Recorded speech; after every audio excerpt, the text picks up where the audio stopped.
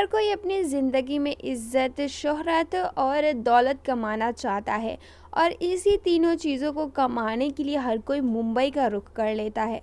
मुंबई इकलौती ऐसी जगह है भारत की जहाँ पर छोटे छोटे स्टार जाकर शाहरुख खान जैसे सुपरस्टार बन जाते हैं और इसी बात को दिल में उम्मीद की तरह जगाकर हर छोटे छोटे शहरों से लोग बड़े शहरों का रुख कर लेते हैं। दोस्तों, आज की इस वीडियो में हम मुंबई के बारे में कुछ ऐसे अनसुने फैक्ट बताएँगे जिसे सुनने के बाद आप कभी भी मुंबई का रुख नहीं करना चाहेंगे।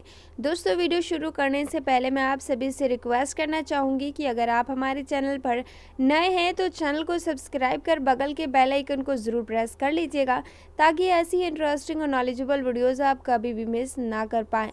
दोस्तों, कहा जाता है कि मुंबई एक माया नगरी है और सपनों का शहर है। इस शहर में जाने के लिए हर कोई काफ़ी बेताब रहता है, क्योंकि यहाँ पर पैसे कमाना बहुत आसान है और कुछ लोगों के लिए इस शहर में पैसा कमाना बहुत मुश्किल है।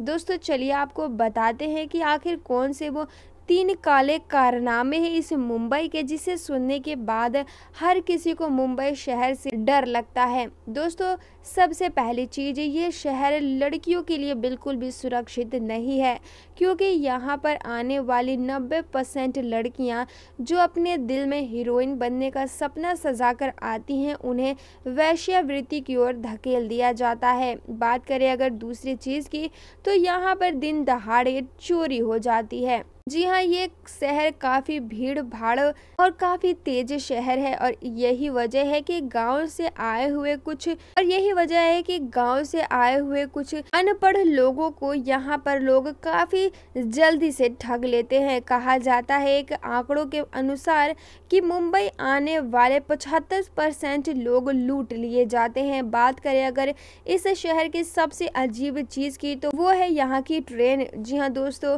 वैसे तो यहाँ यहाँ पर हर स्टेशन पर पाँच मिनट में ट्रेन आती है, पर चौंकने वाली बात यह है कि उन पाँच मिनट में आई हुई ट्रेनों पर जहाँ दस लोगों की बैठने की जगह है, वहाँ सौ लोग घुस जाते हैं। तो दोस्तों, कैसी लगी आपको मुंबई के बारे में ये अनसुने राज? कमेंट के ज़रिए हमें ज़रूर बताएगा। अगर आपको मेरी इन्फॉर्मेशन अच्छी लगी तो वीडियो को लाइक करके इसे शेयर करना अपने दोस्तों के साथ बिल्कुल भी मत भूलिएगा। दोस्तों, मैं आप सभी से रिक्वेस्ट करना चाहूँगी कि अगर आप एक लड़की हैं तो कभी भी मुंबई का रुख ना करें। आपका कीमती समय देने के लिए हमें धन्यवाद।